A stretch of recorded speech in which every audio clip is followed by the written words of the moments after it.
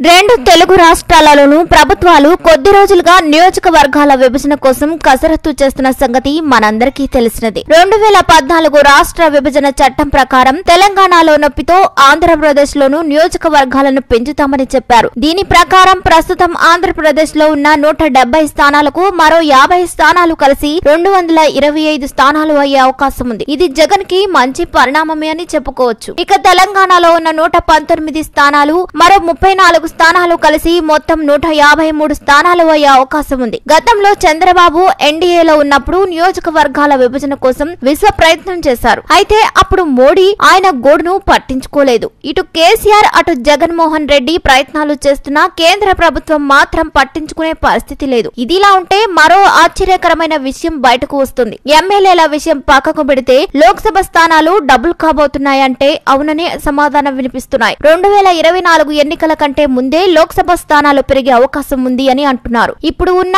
ఐదు వందల నలభై ఐదు ఎంపీ సీట్ల స్థానంలో మొత్తం వెయ్యి సీట్లు చేరుకుంటాయని వెంకయ్యనాయుడు వర్గం ద్వారా జగన్కి కేసీఆర్కి సమాచారం అందినట్లు తెలుస్తుంది. ప్రస్తుతం ప్రతిపక్షంలో ఉన్న కాంగ్రెస్ ఈ పునర్విభజన ప్రతిష్టాత్మకంగా తీసుకుంది. ప్రస్తుతం మన లోక్సభ సీట్లు ఐదు వందల నలభై ఐదు. అయితే ఇప్పుడు దేశ జనాభా నూట ముప్పై కోట్లకు చేరింది. దీంతో ఎంపీ సీట్లు కూడా పెరిగి వాటి సంఖ్య వెయ్యి దాటిపోతుంది. ఏపీ తెలంగాణలో కూడా లోక్సభ సీట్ల సంఖ్య పెరిగిపోతుంది. ఏది ఏమైనప్పటికీ దేశ వ్యాప్తంగా రాజకీయ నిరుద్యోగులకు ఇది ఒక పెద్ద వరమని చెప్పాలి. ఏపీలో జగన్మోహన్ రెడ్డికి కూడా ఇది శుభవార్తె. ఎంతో మంది ఆశావాహులను శాంతింపచేసుకునే కార్యక్రమం ఎక్కువ సీట్లు ఉన్నప్పుడు మాత్రమే సాధ్యపడుతుంది.